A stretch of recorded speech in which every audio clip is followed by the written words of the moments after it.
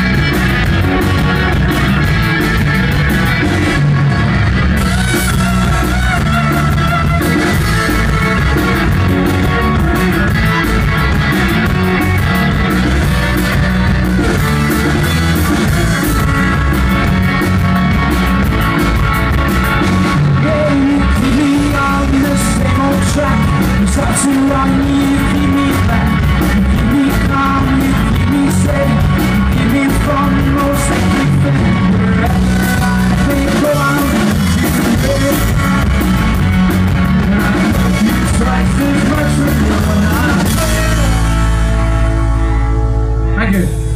Uh, this next song.